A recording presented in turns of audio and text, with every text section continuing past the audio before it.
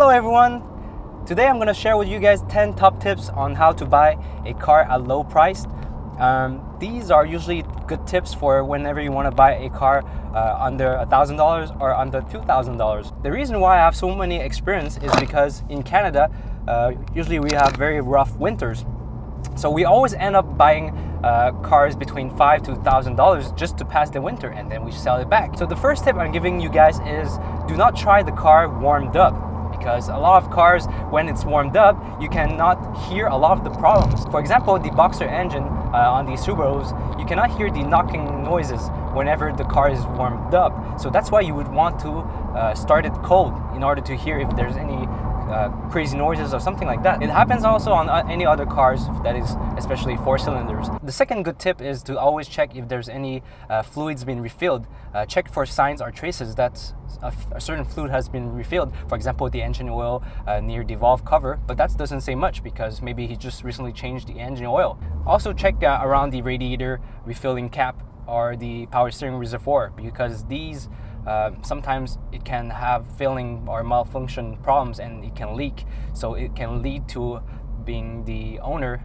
or the previous owner having to refill in order to keep the car functioning. Third tip I would suggest you guys is to check uh, in the trunk or in the back seats if there's any refilling bottles for certain type of fluids. For example, the coolant, the engine oil, the power steering fluid, uh, the brake fluid, all these four fluids are the most common refilling fluids on the older cars. For example, on the older car, uh, if the car is missing engine oil, burning engine oil, or it's just simply dripping so much that it has to be refilled every week or every once in a while. So this is a good tip or a good indication that uh, the, those fluid has been refilled because um, the owner wants to keep on using the car, so he keeps on refilling it and he doesn't want to repair the problem. He just keeps on just you know uh, living with the problem. It's like having a rock in your shoe, you know? You're not removing the rock, but the problem is still there. So the fourth tip I'm giving you guys also is to test the transmission properly. On the automatic transmissions, all you do is go on a certain street or whatever, put it on deep, go forward, and then step on the gas. Watch the RPM if it raises too quickly. If the RPM raises too quickly and then it tries to stabilize itself, then it is a sign that maybe the automatic transmission gearbox is trying to slip or trying to grab its, you know, its gear. That's why it's going up and down right away. On the manual transmission, on the other hand, it's very similar. All you do is you go forward on first gear, and then right away put on fourth gear, and then step on the gas if the RPM doesn't go up, like shoot up, it means the, the clutch is you know doing its job, it's not slipping. But if it shoots up and then goes down back down, and then the car doesn't move much, then it means you have a slipping clutch, which is not a good thing because a slipping clutch can lead to a you guys will have to in order to change your clutch, and that's another five six hundred dollars. That's quite a lot for a beater. If your car is worth five hundred dollars, I wouldn't put five hundred dollars into the car repair. Check also the engine oil to make sure that engine oil is clean, you know. If the owner said he previously changed the engine oil not long ago and then you check that the engine oil is kind of dark, then it means he has been, yeah, he was lying. He didn't change uh, the engine oil. Because if he did change the engine oil, the engine oil will be pretty much very clear. Another tricky question you can trick the owner is if he did not change the engine oil, but the engine oil is very clear, then this could be an indication that he has refilled engine oil because it doesn't make sense. If he didn't change um, the engine oil recently, but the engine oil is clear, it means new engine oil has been put inside, right? Number six. Number six is a pretty obvious tip so do, when you go try a car, do not listen to the music because the music can maybe, you know, hide or camouflage a certain knocking noise or something like that. So always try your car when it's not, you know, with volume up or with music. You can give it a little try when you're starting the car just to see if the speakers work, but don't drive the car with speakers on or music on because it's gonna, you know, just hide noises and everything. Number seven, it's always good to bring a friend in order to give you a little hand. Make sure the car is fully warmed up.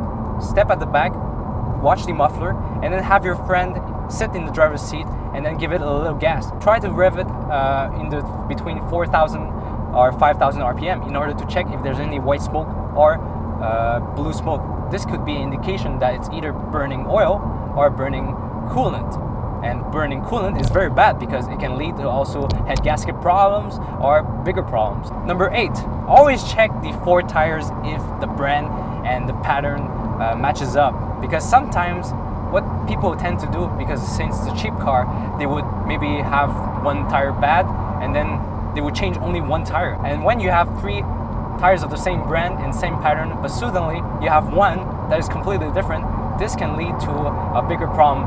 And it's not good for your pockets because you will end up having to buy another pair of tires and try to bring a uh, tire gauge in order to check if the tires are always uh, two fronts or the two rears are in the same depth and this can indicate if the car has been properly you know treated. A properly treated car you know will have four decent tires usually. Number nine already do not be shy to ask the owner if you can drive it in the highway okay?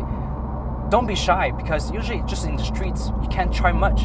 You have to go over 100 kilometers per hour in order to properly test the if the steering wheel is shaking if the wheels are shaking if the tires are shaking or stuff like that you know these are good indications that's why you cannot skip the part that you're trying the car on a highway. You can also listen if there's any vibrations or weird noises uh, when it takes bumps on the highway. That's why the highway part, you cannot skip it. It's a very important part of buying a good car at a good price. You can also check if the steering is straight or not, and then you can try to convince the person to lower it a little bit more since you need alignment, or maybe you even have to change um, sometimes the uh, tie rod end or tie rod inner in order to you know properly align because maybe the person just you know power slided, hit the sidewalks, and then it crooked some of the parts. Number 10, as for if the person has any receipts or previous owner's receipts, at least it can give you a little bit of comfort that some certain things has been done, uh, less worried, especially timing belt, transmission stuff, or expensive stuff that might cost you an arm and a leg or more than the car itself, which is not worth it then.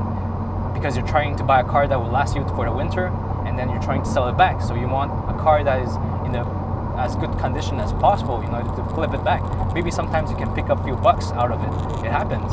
Um, maybe sometimes I bought the car for six, seven hundred dollars, and then I would sell it back for eight, nine hundred dollars uh, the next year and after the winter. That's great, no?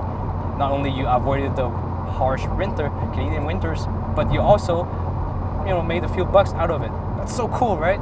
And also, don't be shy to ask for uh, if the person has replaced parts himself, uh, usually they don't throw it right away.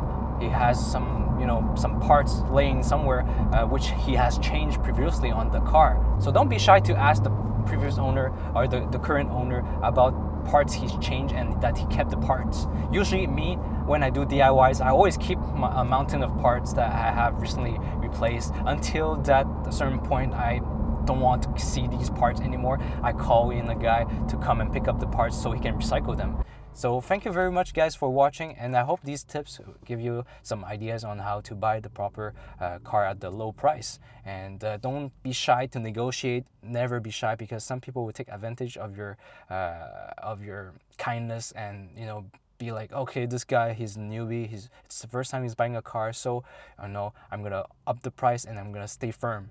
We never want to see, you know, have our nice cars see harsh winters, especially in Canada. They use a lot of salt and there's a lot of rocks flying all around. You don't want to see those rocks or stuff fly into your car that you have, you know, paid so much for it and that your car loves so much. Buy a car five, six hundred dollars that comes with winter tires. That's it. That's all. Uh, eat all the, the the snow you want. You know, that's it. So good luck, guys. Hope you do a great purchase and if you did then thank you. Uh, i'm really happy to share your stories you know. Thank you very much guys. Thank you for watching. Oh yes this t-shirt is gas monkey. Thank you guys. Bye bye